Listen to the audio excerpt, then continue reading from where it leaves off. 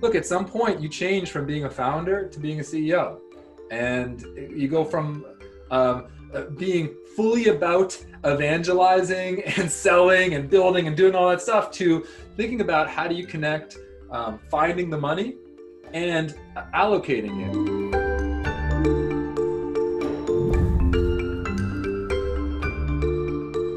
Ben, I'm excited to continue our, our conversation. Um, this time to hear more about your journey, your story. Tell me, uh, eight eight years ago, coming up on nine, for Splash, uh, where did this all start? Tell me about your story. The way this happened was we were uh, South by Southwest 2012. We had built uh, a piece of um, workflow technology for events called One Clipboard, and it was not working out. No one was using it, and South by Southwest, we in a Hail Mary pass launched a piece of technology to promote our other company, One Clipboard, and we call it Splash. And it got picked up by Mashable. They launched it. And then all of a sudden we had Spotify and Google and the Gansevoort Hotel Group, which at the time was a big deal, using our product at South by.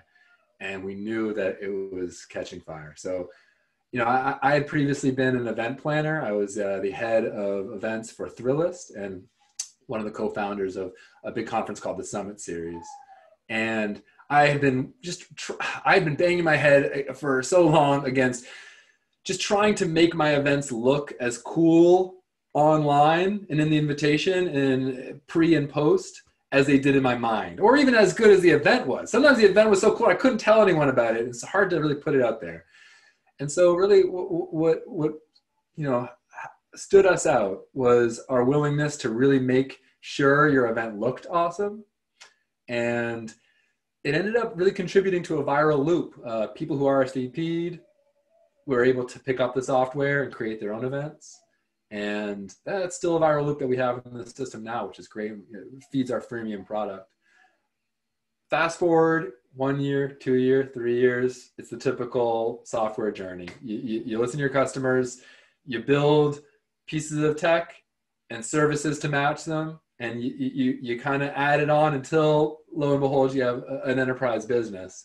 And then you get to a certain point, you realize that you know you, need to change the engine and you do that. And so it's that's that's been the process. At this point, you know, we're really proud. We, we, we serve several Fortune 500 companies um, some of the top technology companies in the world use Splash to power all their events.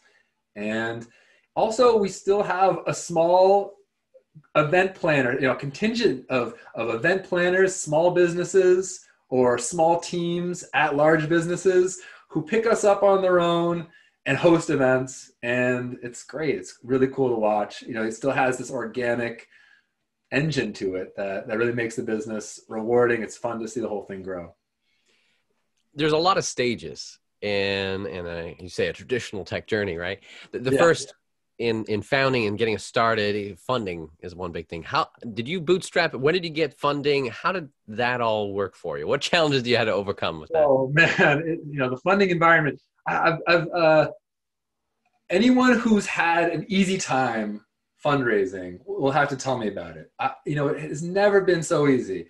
Uh, a lot of no's, especially early a lot of uh, finding believers and getting getting them to, to buy in early um, and also you know we've uh, gone through a couple cycles at this point of the economy especially this most recent one. So you know making sure to, to keep investors you know focused on that long-term vision it's it's been a it's been a game. It's it's been hard. But i got to tell you uh, we were able to get some really top tier investors early on and they've been supportive ever since. That's been a big deal for us. Any particular tactics that you would recommend that you're like, oh, this this worked? Yeah. All right, well, let's get into it. Look, I, I think that the,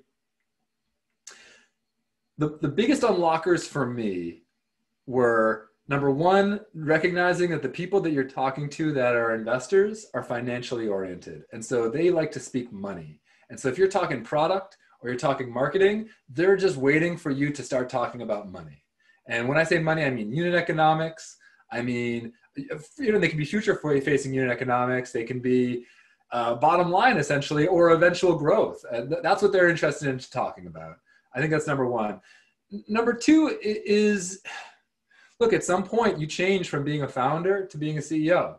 And you go from um, uh, being fully about evangelizing and selling and building and doing all that stuff to thinking about how do you connect um, finding the money and allocating it, allocating those resources to the right departments who know what to do better than you do most of the time.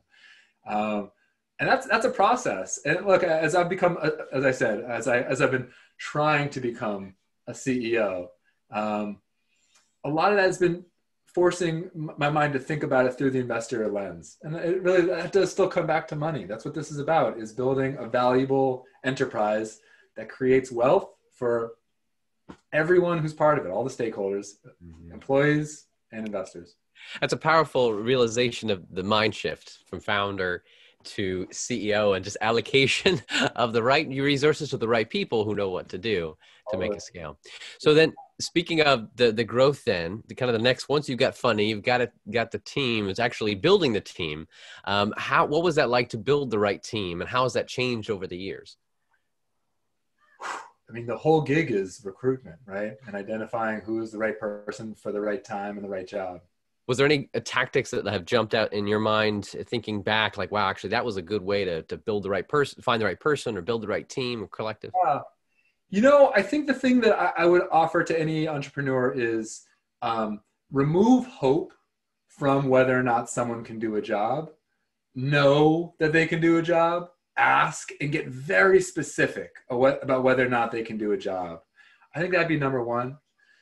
I think number two is being really cognizant that you're kind of making um, you're making longer decisions as the business gets bigger. What I mean by that is you're thinking about somebody who can fill a role for three, you know, three years, five years at this stage.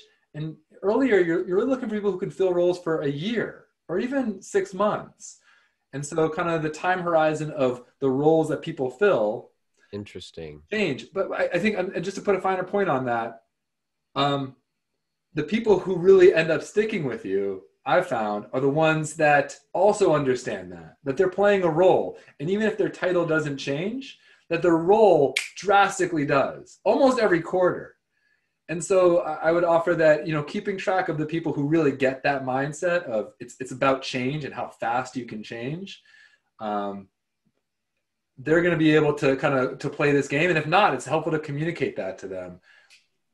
Setting the right expectations. Yeah.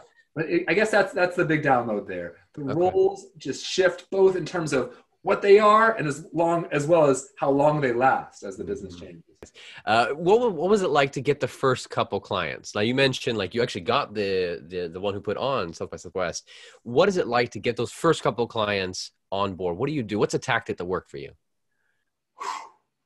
Okay, I think that I'd offer that the same thing about specificity plays. We have we have a, a value at Splash called love the details, and I would put that into hiring, but I'd also put that into selling I think that especially in the early stages, the things that clients really respected about us was that we got our hands dirty and we made sure that that we were really working with where we're often complex programs. I mean, again, I'm in the event space. Events are just by definition super complex, and then many events are just turn that you know exponentialize that. But at least our organization, we, we always spent a lot of time making sure that people were successful, that businesses were successful, the programs worked. And a lot of that means getting into the weeds, especially in the early days. And what I find is that, uh, yeah, like I, we look, we hire people who can get in the weeds. I personally, you know, or at least in the early days, would really get in the weeds. Um, and then the game is how do you scale that? You know, how do you find ways to automate that and, and grow that? Um, did you personally uh, like reach out to build those first initial clients showing like hey we're, we're in this we got the details. How did you get those first couple clients? Definitely. Well again you know I, we really benefited from our viral engine and so i would offer that if, if there's an opportunity to put a free product free trial some sort of virality into your business i'd spend all your time on that because it really decreases the cost of acquisition down the road and can it can change the economics drastically. Um, but yes oh my gosh look I was told, these, yeah, you got to get in everybody's face. I mean, it is it is a sales job to be a CEO. Um, and look, I'd argue that there is a lot of CEOs that that's not um, their best uh, talent, their, their zone of genius, as they say. Um, that's okay. Um, find somebody who can put you in front of those people and help you also contribute your vision. I'd argue that every founder is a seller, right? Is getting out there. And that can be on the recruitment side, sure, but also just with clients. It really helps to hear from the founding team. Um, and there's ways for anybody. You're, you're, you're a big fan, you stated there, of the freemium model. You feel like that there's built in virality and that you, would you attribute then your, a lot of your growth to the fact that you have a freemium model? The coolest part about freemium is that like it does so many things for the business. It creates a, a layer of testing, people who test it and QA it, because you better believe the freemium people are on you even before the enterprise can be. It also uh, helps you under, it gives you a, a wider net of who's actually using the products. You can really start to test things out, see what the market's responding to. You also just start to see just a lot of creativity out of the freemium product.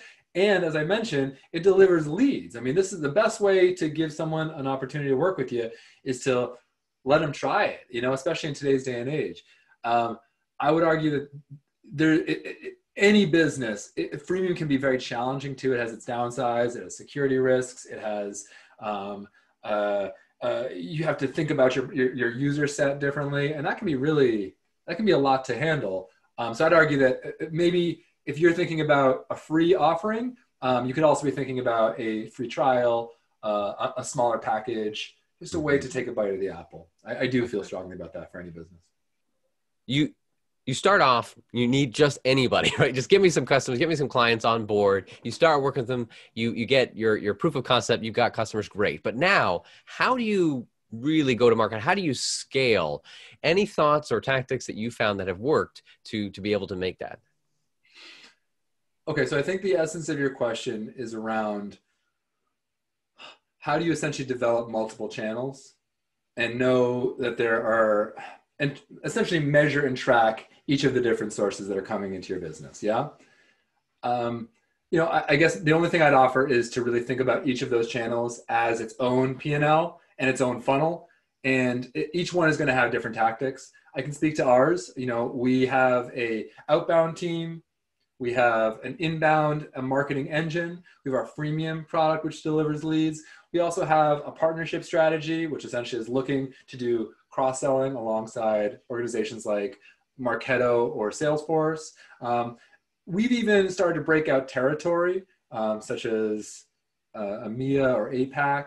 So, long story short, uh, something that I wish I had done a better job of in the very early stages was measure what worked and what were the best methods and how did the funnel move in each of those different channels. I think that would that would have saved me a couple steps.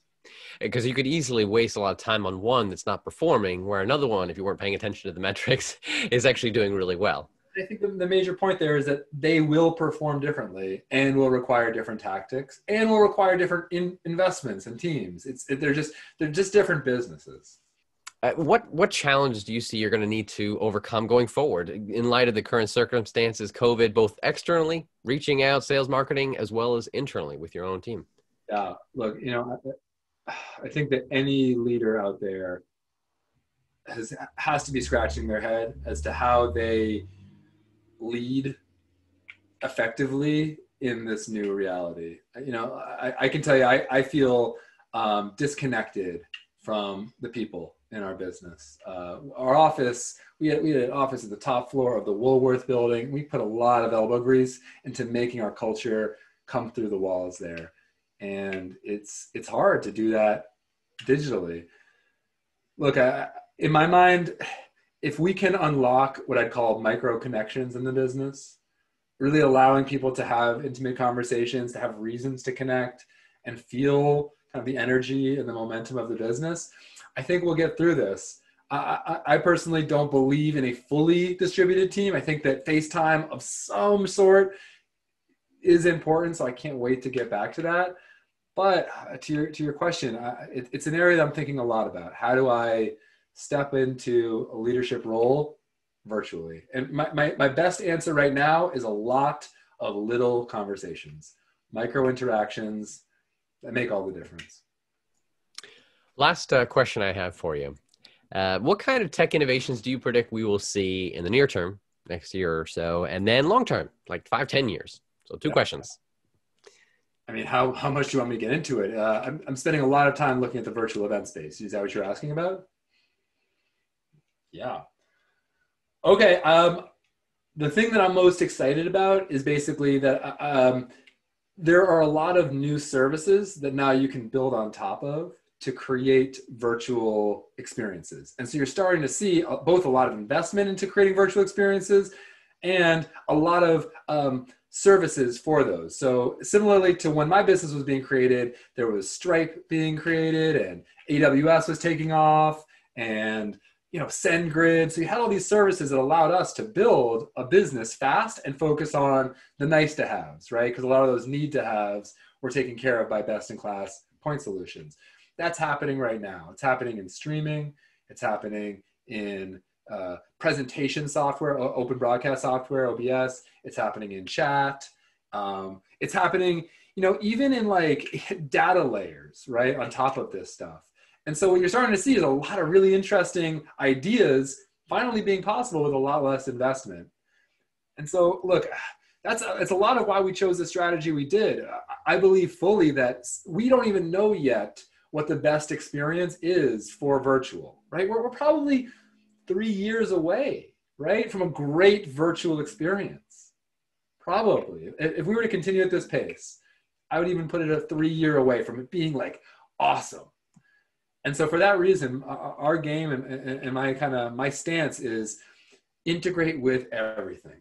Watch the big players because they're going to be moving even faster, right? And they have a lot of effort and attention on their experiences.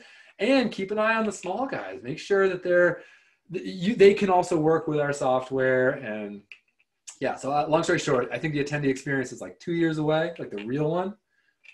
And you know my, my expectation is when someone unlocks i'll call it serendipity or true navigation in a virtual experience like moving in and out of conversations activities feeling connection with a person through that collaboration and that collaborative navigation I think we'll have been there. We will have entered into a brave new world at that point.